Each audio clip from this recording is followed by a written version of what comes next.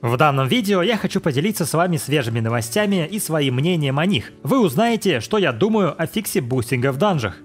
Расскажу о Mythic Plus подземельях, о бафе на опыт, про интерфейс поиска группы и расскажу о закрытой бете Лича. Прежде чем начать, хочу рассказать вам о нашей РМТ-базе знаний. В ней вы найдете гайды, которые помогут вам изучить РМТ-игру и начать зарабатывать. На данный момент в базе собран опыт по следующим играм.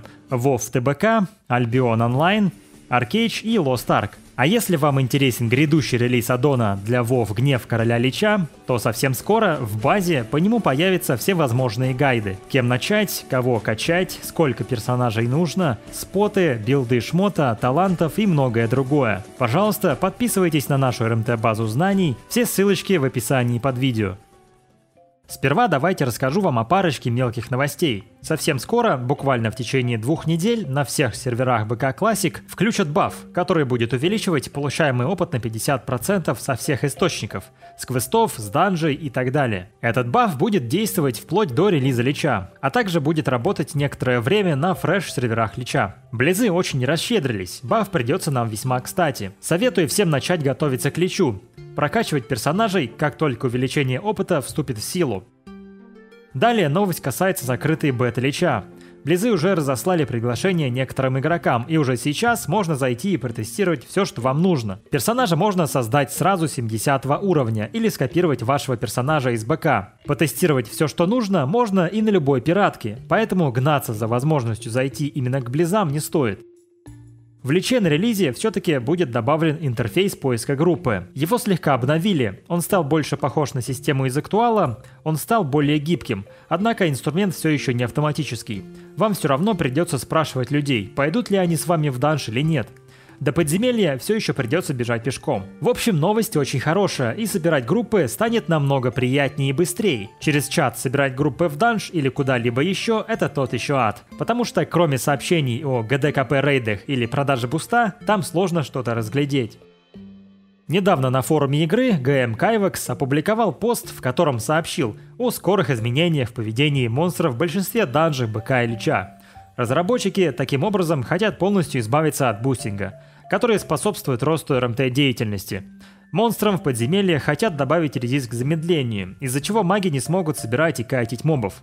Также пофиксят места, куда маги заводят и убивают монстров. Мое мнение на этот счет. Решение убрать буст из игры очень запоздалое. Бустом занимались Classic ванилы до БК, и только в преддверии Лича Близы увидели, какое пагубное влияние оказывает бустинг на игру, и согласились с комьюнити, что его нужно убирать. Я частенько захожу на форум и читаю, что пишут обычные игроки, и самые частые недовольства касались как раз таки бустинга. Люди писали, бустинг это чистая РМТ, бустинг убивает дух классики, невозможно собрать группы в данже и так далее. В принципе, так оно и есть. Без мотивации заработать реальные деньги никто не будет сидеть часами и прокачивать других людей. Я считаю, бустинг в БК или Личе должен быть, потому что в самой игре нет никаких механик, которые помогли бы игрокам быстро прокачать персонажа альта или вдруг вы опоздали на релиз месяцев на 6. Группу в данж собрать будет сложно, и все, что остается, это делать нудные квесты. Бустинг — это одна из услуг игроков, он должен быть как вариант прокачки. Но с другой стороны, от него страдают и сами РМТшеры, потому что пачками качают ботов, которые потом демпят золото. Получается палка о двух концах. Вроде бы бустинг нужен, на нем можно хорошо поднять голды, но в то же время бустингом пользуются ботоводы, которые намного быстрее выходят на фарм и портят цены на золото. Другая причина, по которой фиксится буст в данжах, это деньги. Близы почувствовали, что, во-первых, мимо них проходят золотые горы, а во-вторых, на лич придет огромное число игроков, которым ничего не остается, кроме как купить официальный буст у близов до 70 уровня. Вполне возможно, буст мета достанется паладинам, и все маги просто пересядут на них – и если так произойдет, то это будет означать, что разработчики просто делают вид, что слышат комьюнити, а на самом деле преследуют свои цели. Плевать они хотели на комьюнити и пускают им пыль в глаза.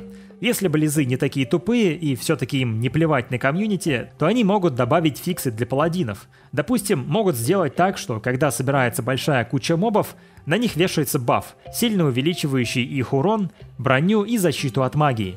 С таким фиксом паладины, тоже как и маги, не будут способны бустить. В общем, полумеры это не фикс. Заберут буст у магов, он останется у паладинов. И по сути проблема не решена. Все РМТшеры бустить будут на паладинах. В более актуальных версиях WoW бустили всегда танки. Я помню, весь БФА продавали буст в вольной гавани. И я даже сам пробовал это делать. Это было очень легко. Поэтому я все же думаю, у танков буст не заберут. Процентов 90, что мета-буста будет на паладинах. И напоследок хочу поговорить о данжах WoW.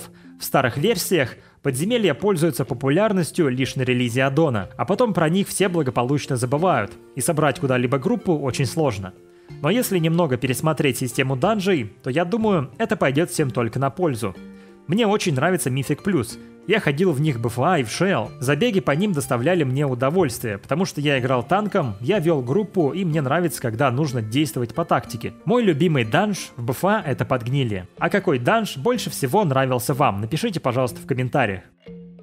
Ходят слухи, что разработчики хотят каким-то образом изменить данжи, чтобы они пользовались популярностью на протяжении всего аддона. Возможно, Близы хотят сделать Мифик плюс в Личе. Возможно, хотят добавить какую-то награду, за которой можно будет ходить бесконечно. Точно никто не знает, и это только мои предположения. Но я бы очень хотел мифик плюс в личе. Это было бы интересно и удобно было бы одевать персонажей. Близы сказали, что скоро расскажут больше подробностей и расскажут о планах на дополнение «Гнев короля Лича». А какое мнение у вас по поводу мифик плюс подземелий? Напишите, пожалуйста, в комментариях. Спасибо всем за просмотр, подписывайтесь на канал и на нашу РМТ базу знаний. Все ссылочки в описании под видео.